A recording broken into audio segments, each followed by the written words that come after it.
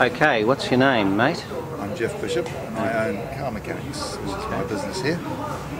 Okay, and this is your Jag that This is you my Jaguar restored? I've owned for about 20 years. Okay, and you restored it from the ground up? Pretty well, yeah. It's Okay. rebuilt, the whole engine, transmission, and it's been uh, extensively worked on, yes. Okay. All right. Now, what was the problem you were having with it when you bought it out of storage recently? Well, okay, since the advent of unleaded fuel, this has always been trouble with um, fouling plugs. Sometimes, as frequently as uh, every couple of days, it would foul a plug.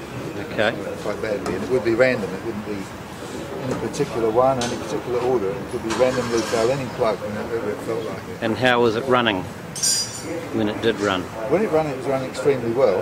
But of course, once you once you got a foul, foul plug, you've got a big problem. Okay. Now, you were sceptical about the FuelStar when it was recommended to you? Very. Okay. Yeah, I couldn't see any merit in it whatsoever. Okay.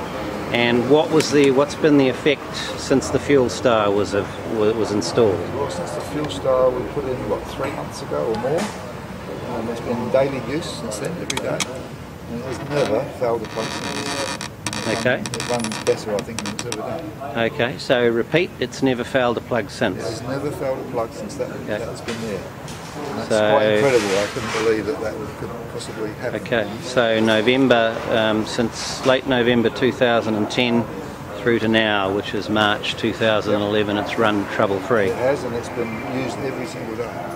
Excellent. Okay. Do you want to start it up for us, Jeff, so we can hear what it sounds like?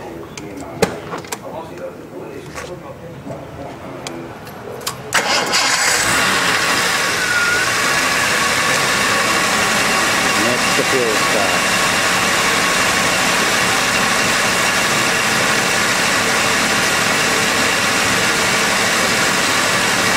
Okay, that's great.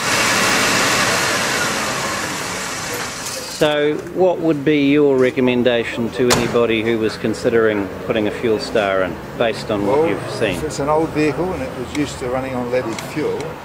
And um, you had a problem, or even if you didn't have a problem, I, I would recommend you get one. Uh, I, I, if you'd asked me before this, I'd have said, just forget it. Don't waste your money. Okay, thanks very much, Jeff. Much appreciated. Hey, Guy, never got back to you.